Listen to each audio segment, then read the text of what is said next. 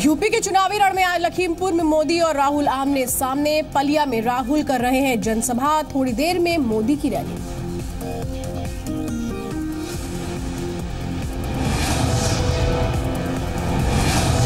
UP में दूसरे चरण के प्रचार के लिए आखिरी दिन। नेताओं ने झोंकी पूरी ताकत। मुरादाबाद में अखिलेश की विरोधियों पर हुंकार। संभल सहारनपुर में अमित शाह की जनसभा।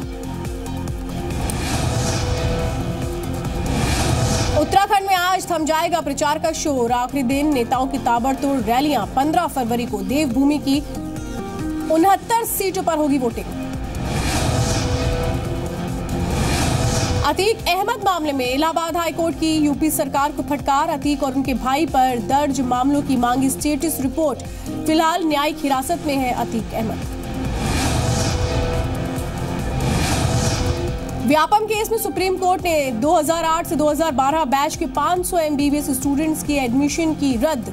सर्वोच्च अदालत ने मध्य प्रदेश हाईकोर्ट का फैसला रखा बरकरार।